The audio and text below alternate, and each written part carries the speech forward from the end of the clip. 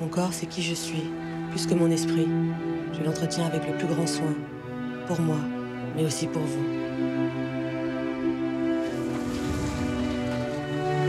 Ça me fout en l'air cette merde. Ça va finir par complètement le détruire. Jusqu'au trognon. Au final, c'est pour vous que je le fais.